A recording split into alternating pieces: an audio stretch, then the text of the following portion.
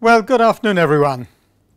We're uh, resuming our NPTEL Ideologies course 2019-20, and we'll, we'll continue with our concluding topic, that is the 12th topic, and um, it is Republicanism and Citizenship. We've started it. I'll recap briefly at the point where we ended uh, last time, and we'll go on through the topic today. It will probably take us at least this lecture and possibly another one, and then a worked example after that, very likely. Well, let's recap at where we were. We were in the process of showing how, um, or seeing how, contemporary republicanism has emerged um, in and through severely critical responses to liberalism and the the uh, radically insoluble conflicts that uh, liberalism cannot resolve. So let's recap where we were last time. In practice, liberalism looks very different from, from the theory that allows us a wide range of individual rights, of choices protected by rights, and liberalism also, on its, on its own self description, refrains from imposing any substantive theory of, of, uh, of human nature. In practice, of course, things are very different. Liberalism does have a substantive theory of human nature, which is that we are, according to which we are radical choosers. That is the essence of being human. Well, in practice, of course, liberalism runs into significant problems, even in, and I have argued, as have many others, that these are incoherences. First of all, we're only too familiar with radically insoluble conflicts between positions which seem to have no common ground whatever. In liberalism, the rights of a fetus, for example, are often counterposed to the rights of the mother. An abortion then means the fetus loses its rights when the mother's might be upheld, or the other way around, the fetus's rights are upheld against those of the mother. That is a result of, of our putting the issue in terms of rights. Similarly, a right to a traditional life is often set against the right to choose another way of life, or against, for example, the right of a contractor to pursue their occupation, even if it means building over traditional habitats. So, which is to the right of, you know, which right is to be protected? That of the contractor to pursue their lawful occupation, the builder that is, or the developer, or the right of people living in traditional habitats to uh, to maintain their, to live in their traditional habitats, perhaps maintain traditional ways of life. Another example is those, you know, of a, such a clash is between those, and these, this actually happened frequently, as have the others. What about those who hold that war is destructive and violent and must be banned and prevented wherever possible? And those who hold that oppressed and colonized peoples have a right to wage war so as to achieve independence or national self determination. The UN, as we saw earlier, recognizes a right to self-determination. A third of example of an irresoluble clash, yet another one, is that uh, justice requires that we all have an equal opportunity to develop our talents. And therefore, taxation for public health care and public education is necessary to give all of us that opportunity so that we can exercise the right to develop our talents. But hold on, wait a moment, shouldn't we all be free to incur only the obligations we want to incur? That would then imply that taxation should be abolished and we should be free to choose schools and doctors and occupations and whether or not and how much to pay for other people to benefit from the same kinds of things that we do. In India, for example, a very familiar complaint is that affirmative action quotas, called reservations in India, as I'm sure you know, the affirmative action quotas in India are often claimed to disadvantage those who've achieved the target grades for admission to publicly funded universities and colleges or public sector employment. Now, in this kind of case, the right to have structural disadvantage recognized is set against the right to be rewarded for achievement. We shouldn't be surprised that the supposed arguments degenerate so quickly into um, bitterly entrenched positions and mutual hatred, if not worse. They were never uh, arguments in the first place, they were only assertions of purported rights. Liberalism, as we saw last time, has no conceptual resources with which to resolve these kinds of difficulties. They are, they are simply impasses or contradictions or, in a fashionable term in the humanities, aporias. What about the actual empirical results of liberalism? Beiner, for example, Ronald Beiner has been severely critical of these. Instead of uh, the principle of choice, which according to liberalism we, we have a right to, instead of that all we see is, a, as he says, a shopping mall culture where vast numbers of shops all sell the same junk. Much of that may, much of the junk may also be built or manufactured to fail after a given time. So we have to uh, go back and buy the newest version, irrespective of the often unrecyclable rubbish that such a practice generates and creates. Well, the upshot then is that reasoned criticism, reasoned analysis, reasoned evaluation of our ways of life becomes impossible. It cannot be done within liberalism. Now that's very serious when our entire way of life gives cause for concern, or much of it does. Beiner himself says, he poses the question like this. He says, why should we respect a way of life that is, I quote, servile, conformist and unreflective? We might add, or even worse than that. What would it even mean to respect such a way of life? The point I'm recapitulating here is that the dead ends and incoherences have a deeper source in liberalism, and that is uh, the conception of uh, liberalism's conception of the human being as a radical chooser and nothing else. To be human is to be a chooser. Now, this is a substantive theory of human nature. It is a philosophical anthropology, and it is a philosophical anthropology of precisely the kind that liberalism requires us to refrain from adopting. And in addition, it means that we can't investigate the substance of ways of life. We can't investigate how we've come to need liberation from, say, feudality or inherited privilege or arbitrary power. Yes, liberalism historically has delivered us from such captivity, and that's a great, a mighty achievement. But it has only delivered us into another sort of captivity, and that is the captivity of these sterile and irresolvable oppositions between competing rights.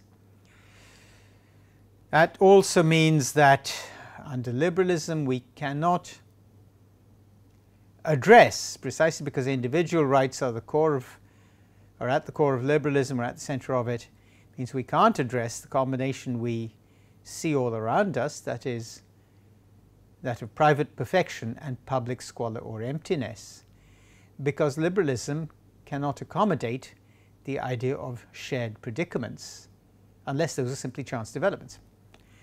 At that point, liberalism can only fall silent. Now, part of the problem, as I've already indicated, is that by accepting choice as the essence of personhood, liberalism rules out any substantive inquiry into the content and context of the choices we make. Have we been brainwashed, coerced, bullied?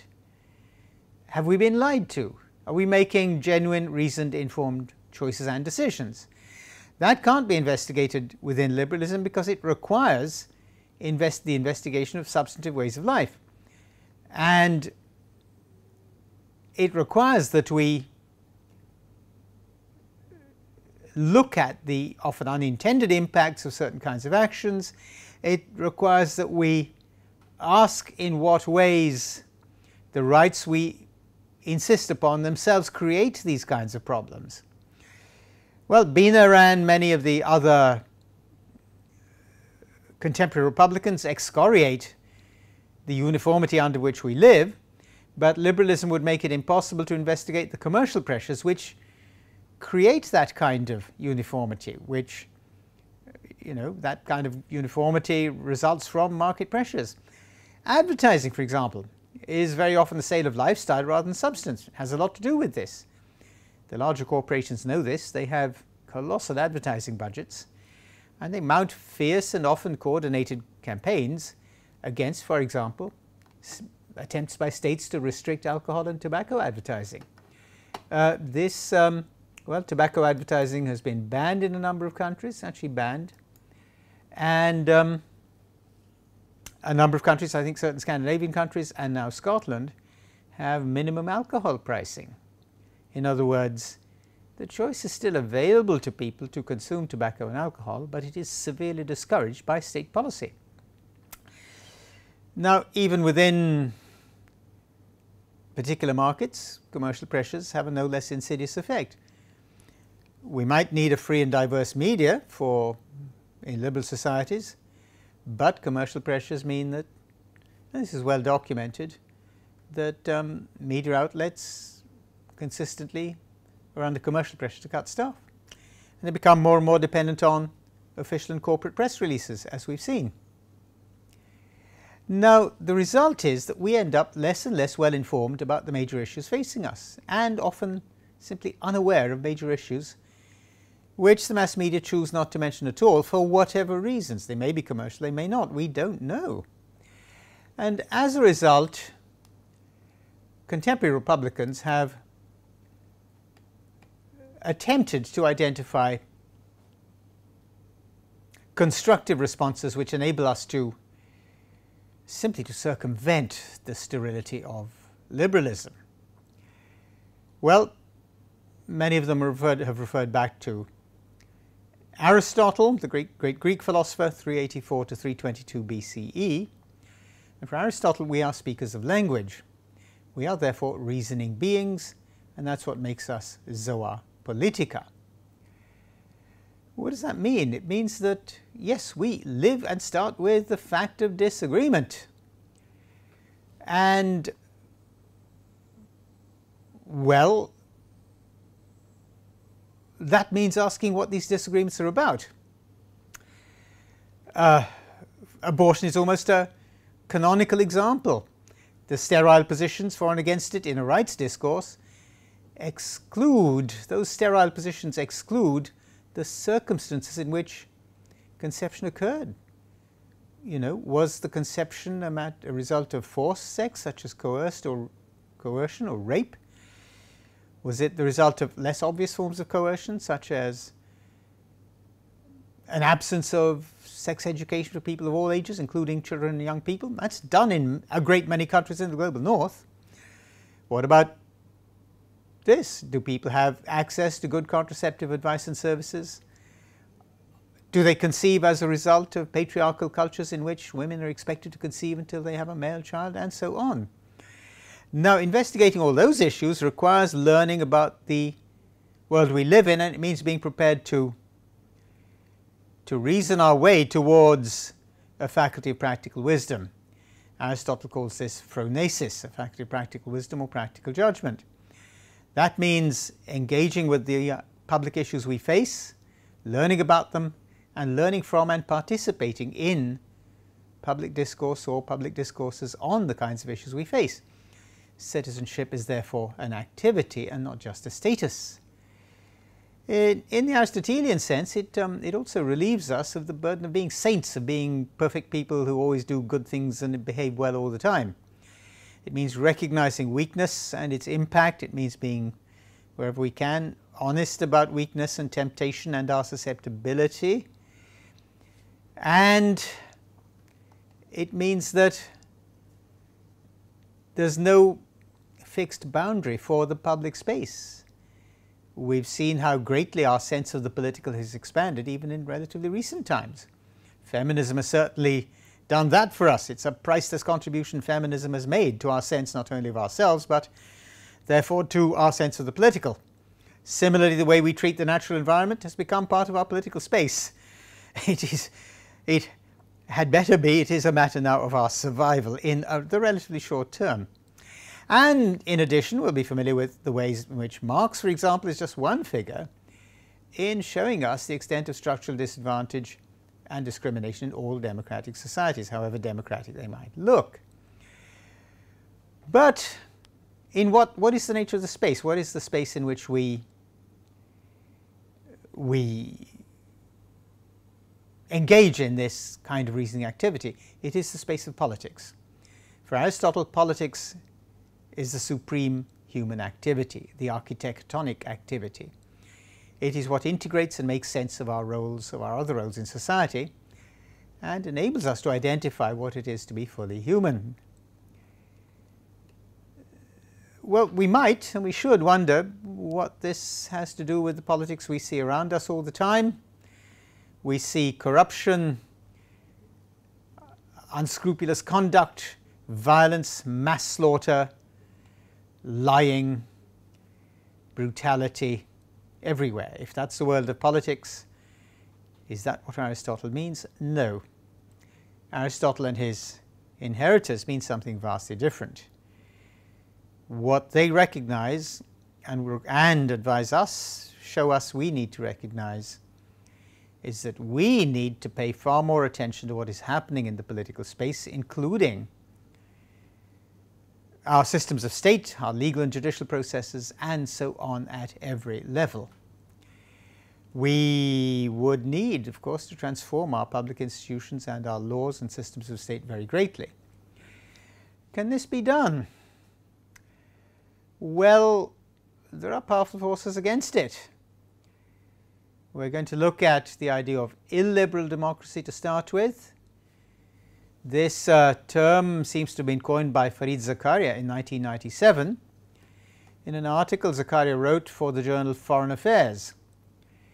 He uh, identifies a problem which we've noted above, and that is that it is not enough for liberal political systems to stop by institutionalizing or stop with the institutionalization of certain values and certain types of political organization. Okay, among these are free and fair elections, the separation of powers between elected assemblies, the you know that is the executive branch of government, um, the judiciary, and the and the legislature. It's not enough just to have the separation of powers. The point is that Zakaria and many others have pointed out that many of the uh, essential features of such systems, such as freedom of speech, freedom of assembly, freedom of religion, freedom of property even, need to be protected. Liberalism requires the protection of all those. Now Zakaria, Fareed Zakaria calls this, this second set of protections constitutional liberalism. He cites Philippe Schmitter as saying that such constitutional liberalism has never been unambiguously linked with the practice of democracy. In other words, we haven't often had those kinds of protections. Now, Zakaria was writing in the mid to late 90s at, at a time when any number of dictatorships around the world were being replaced by democracies. And he concludes that most, if not all, of the emerging democracies are procedurally democratic, but they in fact have, I quote, strong executives, weak legislatures, and weak judiciaries, and few civil and economic liberties. For Zakaria, it is not acceptable to claim that such forms of executive power are sometimes described as necessary for the elimination of rigid social stratification or of powerful established interests such as institutionalized religions or landed or corporate wealth. In many developing countries and increasingly in the developed world, as we know, that kind of wealth is tightly concentrated in corporate or family hands. Now, there are other sets of conditions under which we live. We now live in a world permeated by permanent and apparently limitless electronic surveillance by virtually every state in the world. And moreover, this is a world in which open expressions of racial and religious hatred are once again part and parcel, or so it seems, of life in Western and many other democracies. In that kind of world, Zakaria's distinction between constitutional liberalism and democracy may well look, look much less convincing than it might have looked in the late 1990s. We uh, also need to remember that much of the uh, repressive legislation involved has been passed almost unquestioned by impeccably elected legislatures. There are examples, plenty of them, the, US Homeland Security Act and the Patriot Act were both later criticized for unconstitutional provisions. Uh, and if I'm not mistaken, the Obama administration allowed some of the time limited or sunset clauses in that in those pieces of legislation to lapse quietly. They didn't repeal them openly, they just let them lapse. Similarly, in the United Kingdom, the regulation of investigatory powers 2000 gave a large number of public bodies at different levels almost unlimited powers of electronic surveillance. The British Parliament passed a further law, the Investigatory Powers Act in 2016. More recently, the British government has started to require that publicly funded schools decide and record the ethnic backgrounds of their pupils. That was a procedure which used to be carried out by state officials in the now abolished apartheid South Africa. In the UK, the data collection has been outsourced to a private firm. And if parents don't disclose a child's ethnic background, the schools have been told, I quote, to guess the background. That comes from a paper by Pells, P-E-L-L-S, 2016. Uh, I'm not sure if that practice has since been abandoned, but uh, the practice of officials deciding people's ethnic background or racial background was a feature of apartheid South Africa as well. So today, Zakaria, Fareed Zakaria, would have even more evidence of the spread of illiberal, illiberal democracy than he did at the time. Uh, that has, of course, been noted. Yascha Mounk points out the ways in which several apparently stable democracies, including wealthy Western ones, have seen the rise of populist and often demagogic politicians. Uh, Mounk cites Donald Trump, of course, who won the election and is a candidate, clearly a candidate for, for the next one this later this year. The French leader of the uh, Front National, the National Front, Marine Le Pen, the far-right Dutch politician Geert Wilders. Geert Wilders are all cited as examples by Monk. By Mounk. Mounk also mentions the British referendum vote on the 23rd of June 2016 to leave the European Union. He is blunt about the political opportunism of those who use, for example, terrorist attacks or attempted coups to advance their own brands of xenophobic or ethno-nationalist politics. Mounk specifically names Marine Le Pen's reaction to the mass killing in Nice by uh, a man driving a stolen truck during the Bastille Day celebrations during the, on the city's promenade into, for the 14th of July 2016. He goes into detail over the Turkish President Recep Tayyip Erdogan's swift centralization of power after the failed coup that month, um, July 2016. Erdogan dismissed thousands of people, apparently not for anything they had done, but for what they might have thought. And included university professors, civil servants, all kinds of people and that effectively put an end to a long-standing, long-standing Turkish dispensation under which a secular or secularist elite had legislated to protect religious and ethnic minorities and a reasonable if varying variable amount of um, journalistic and academic criticism. Similar processes have, have been very obviously at work in Hungary and Poland as well and in those countries elected governments have swiftly undermined the Constitutional Court.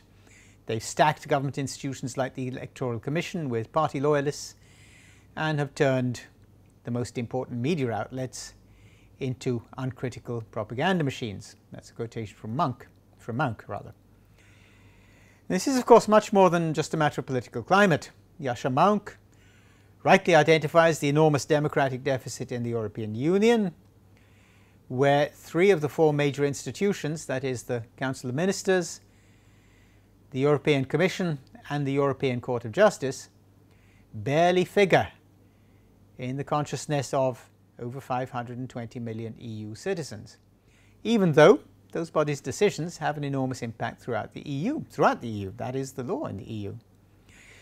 Mounk is also equally right when he points out that the only elected EU institution, the European Parliament, is elected on tiny turnouts, so sometimes of 30% or, un, or less, and has, well, hardly any publicity in the rest of the European Union. I mean, that does vary across, across the EU anyway.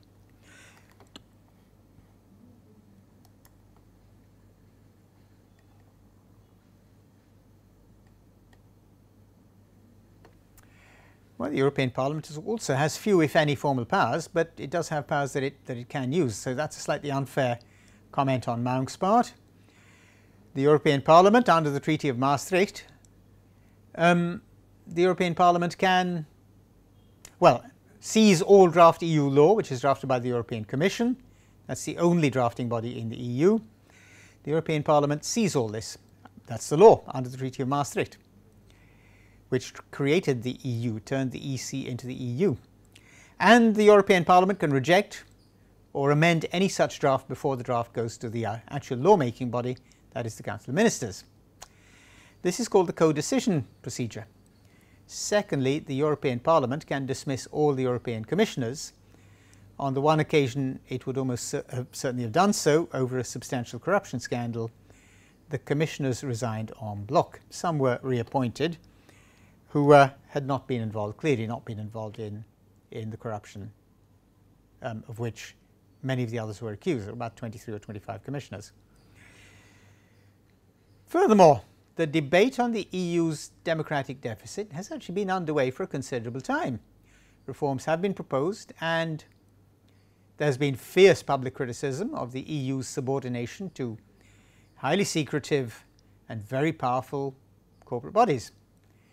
For example, the European Parliament very rarely uses the co-decision procedure and instead allows almost all draft legislation through under the much less stringent consultation procedure. But Mounk nevertheless concludes that the problems faced by liberal democracy, as it turns into illiberal democracy, constitute only one half of the problem. The other half is what he calls the tendency of the elites in liberal democracies to see themselves as, in effect, having to protect liberal democracy against the worst populist movements and the worst populist motivations. Mounk calls this undemocratic liberalism, and he says it is part of the cause of ordinary people's bitter sense of remoteness and alienation from their own apparently thoroughly democratic systems. As we saw in the chapter on liberalism, the elitist tendency and a profound fear and distrust of the public are inherent in liberal theory and in supposedly liberal democracies. Now, Mounk says that historically, liberalism and democracy only came together coincidentally that is during the first three decades of the second, after the Second World War, when enormous inequalities were significantly reduced and hundreds of millions of people, especially in industrial countries, experienced previously unimaginable improvements in their lives, not just their standard of living, in their whole lives.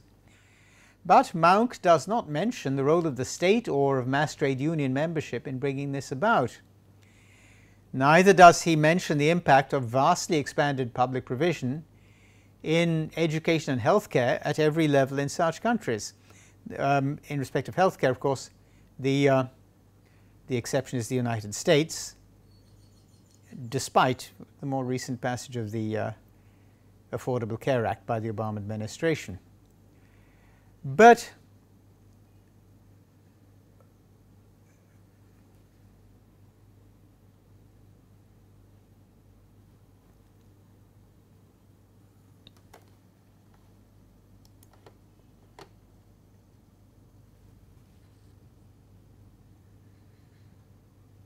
Mounk's explanation, however, relies on what he considers only a historical coincidence, and that is the, the improvement in material conditions and relations of production in industrial countries after the Second World War. That may be a Marxist or quasi-Marxist explanation. Zakaria, for his part, makes little or no mention of such material conditions as forming a decisive context for the uh, coincidence of liberal and, liberalism and democracy. But like Mounk, he sees the collapse or imminent collapse, Zakaria sees the imminent collapse or, of liberal democracy as alarming and very dangerous for the whole world. Given the alternatives on offer, some of which a lot of leaders may be about to impose on some of them on us too, given the alternatives on offer, their alarm and anxiety are entirely understandable. Mounk, of course, was writing 20 years after Zakaria, writing in 2015 or 16, very much in our own time. And he sees uh, an urgent need for us to restate and protect the ends of liberalism. But substantive ends are precisely the kinds of things that liberalism cannot allow itself to propound. We've seen that problem above in the chapter on liberalism and earlier, we've seen it earlier in the, the liberalism chapter and uh, also in, in this topic, uh, republicanism and citizenship. Now there's a further set of problems for our predicament as outlined by Zakaria and Mounk, and they're certainly not the only two, I've just drawn from them because they're fairly clear and fairly direct. There's a further set of problems, and Zakaria and Mounk both neglect the way hundreds of millions around the world have come to think they're faced by threats like permanent debt, unemployment or under, underemployment, and even the obliteration or overrunning of their own cultures? How is it that they've come to think that only some kind of powerful leader who promises to assert cultural, religious, or ethnic or racial homogeneity can save them? Well, the single greatest source of our knowledge, if knowledge is the right word, of the world is the largely corporate owned mass media. That's been thoroughly documented around the world. But Zakaria and Mounk, well, neither Zakaria nor Mounk, Mounk um, seems to pay much attention to the part played by the mass media in creating our current sense of our situation. Of course, there have been other, other people have written powerful and sharp analyses of the media's part in our sense of our problems, and many of those have been written by very experienced journalists.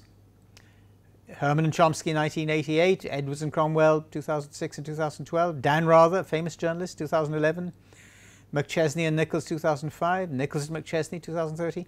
There's plenty of work around this. There's been work all over the world in almost all, even reasonably serious democracies. Uh, and yet, neither Zakaria nor Mounk seem to pay much attention to the media's part in creating our sense of our current situation. But all is not lost, and um, in spite of challenges and threats and other problems, including commercial issues, um, the mass media broadly, under the complementary term, comp under the umbrella term, beg your pardon, under the umbrella term complementary media, have emerged, mainly on the internet. I've written about this myself, other people have covered it as well in much greater detail than I have. Well, the point is that there have been reactions. And similarly, examples of public involvement often show that when ordinary people, almost irrespective of their background, have the chance to address public issues seriously, they can and frequently do engage openly and seriously with the issues before them to reach very sound decisions. In 2000, the Canadian province of British Columbia used a form of nearly random selection to create a 160 member citizens assembly. That assembly considered several different electoral systems and then decided on a particular one to replace the existing simple majority or first past the post system. The existing system had twice in succession in provincial elections in British Columbia the existing simple, uh, simple majority system had twice in successive elections produced anomalous results for the, in the elections for the uh, province's assembly. In 1996, the Liberal Party won the popular vote. They got 41.8% of the vote against the New Democrats' 30.5. But the Liberal Party lost the election because they won fewer seats. In 2000, four years later, the Liberals won 77 out of 79 assembly seats, but they only won 57.6% of the vote. In that election, the New Democrats won 21.6% of the vote, one fifth, but they won only two out of 79 seats. The Green Party got 12.4% of the vote and won no seats at all. The result was a one party assembly in a climate of declining public confidence in the former political process. The public were deeply disturbed about this, and in response, the incoming provincial government created this Citizens' Assembly. The Assembly received funding and administrative support from the provincial government, from the civil servants who were delegated to assist and advise. The members had initial training at weekends, and then they held over 50 public hearings all around the province. And they concluded with six more meetings. The Assembly discussed several different electoral systems and then they recommended by a vote of 123 to 31 that the province change to a proportional system based on the single transferable vote. The members chose criteria for an electoral system from a list of nine different systems and they decided, I beg your pardon, the members of the assembly chose criteria from a, for an electoral system from a list of nine and they decided that the main criteria were effective local representation, a fair proportional way of translating votes into seats, and maximum voter choice. Those were their main criteria for an electoral system. Crucially, all the evidence was that they made a reasoned and intelligible choice based on deepening knowledge of the subject and they did this without collapsing into aggregates of opinion or vote banks. There's a lot of documentation on that. Now, there are other ways of getting citizens involved. In India, the state of Maharashtra is one where the central government's National Rural Health Mission, NRHM, has drawn upon local non-governmental organizations, NGOs, to help include citizens as monitors of the health mission. The mission itself was started in April 2005 as a response to a healthcare system, if the word system is at all applicable here, which was widely acknowledged to be a national disgrace, and that's widely said in public. The NRHM specifically mandates community monitoring and it states that community monitoring cannot be implemented by state health department officials alone. It is largely the officials concerned who must be monitored and that's in the NRHM. This involves a change in the balance of power between ordinary people and the officials. The plan explicitly intends, the community monitoring plan explicitly intends that ordinary people have an authoritative voice in evaluating the mission and in influencing decisions. That's actually in the National Health Mission document 2013. Now there's a Pune-based NGO called Saathi which notes that community-based monitoring or CBM generates popular pressure on officials to maintain the quality of services and it independently generates information about the functioning of health services that the standard management systems almost always miss. These include things like whether or not doctors actually turn up, whether or not nursing staff make the outreach visits they're supposed to make. It also includes the way staff behave towards patients. It includes prescription practices.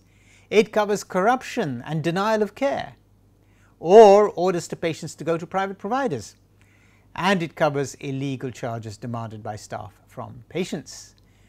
I've got that from the uh, CBM report 2012 and a report by a researcher called Kakade 2010. These are all public documents, they're on the net.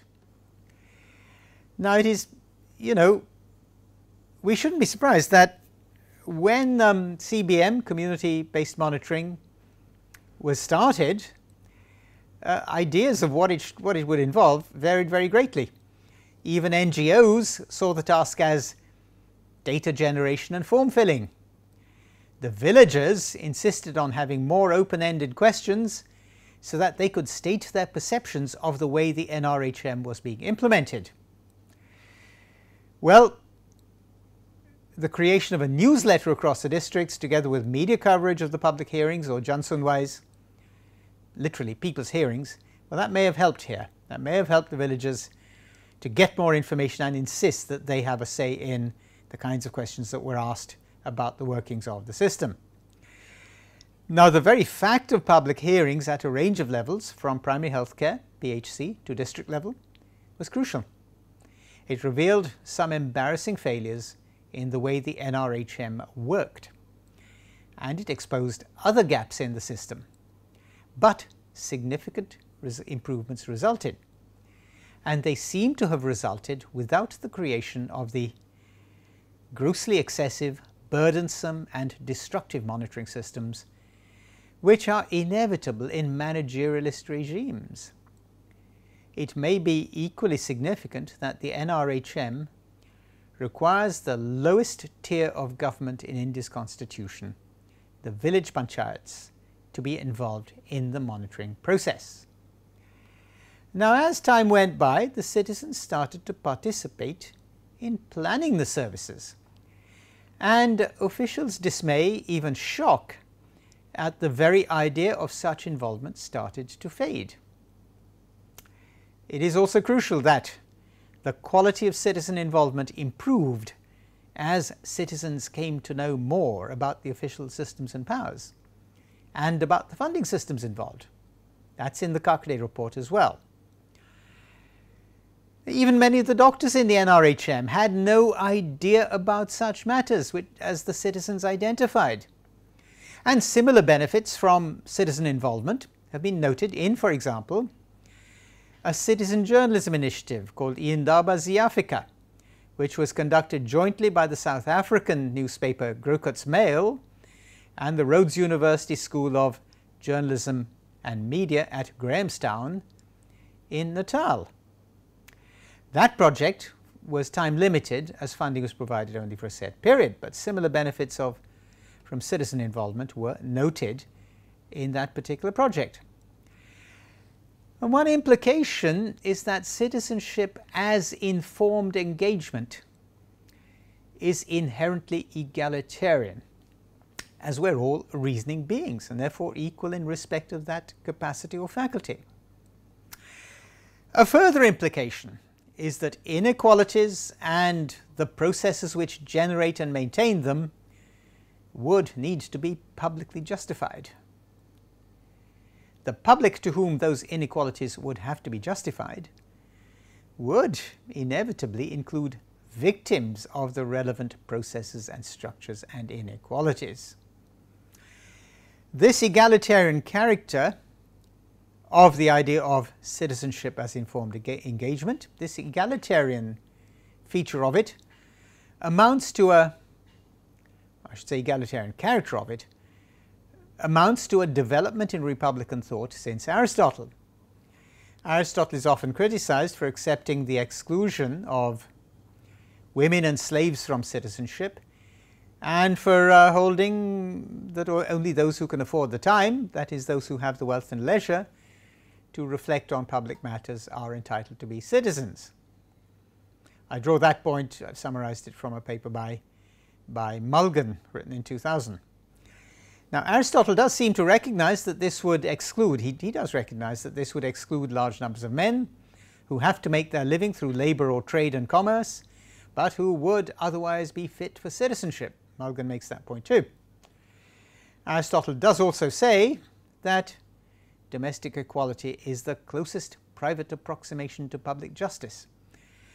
Today, we would probably not accept either of those exclusions of women or of large numbers of men who haven't the wealth or leisure to be to reflect on public affairs, we would probably rightly reject both of those those um, features. And today's Republican theorists rightly rightly regard gender equality as an inherent element in citizenship.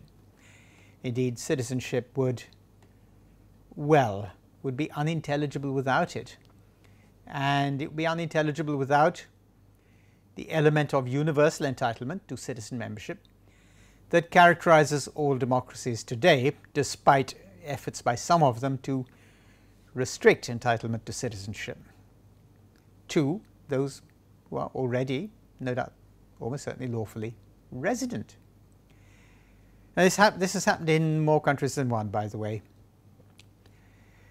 Now, this also means that we don't need to concern ourselves excessively with whether or not Aristotle is a recognizable social democrat or a liberal by today's standards or a conservative supporter of the established order.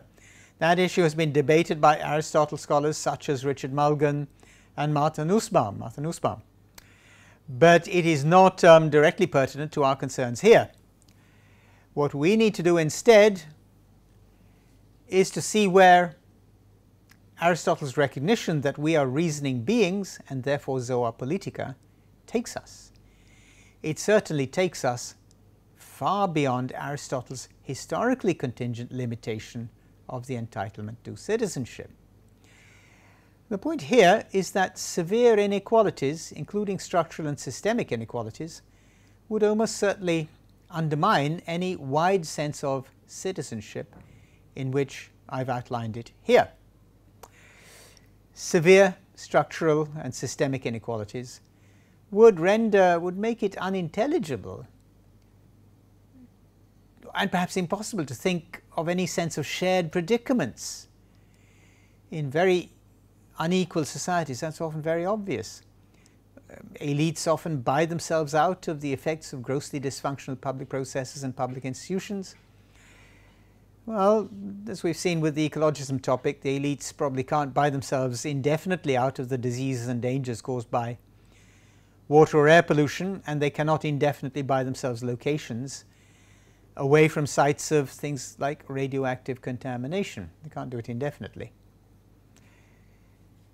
And as for distributional or material equality, this can't be separated from, cannot be separated from wider questions of the mode of production. But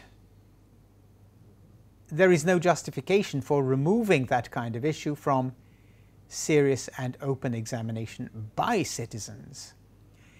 Any serious discourse on such a topic would furthermore need to abandon the current promises or assumptions of ever increasing wealth and ever increasing consumption. We saw that with the ecologism topic anyway.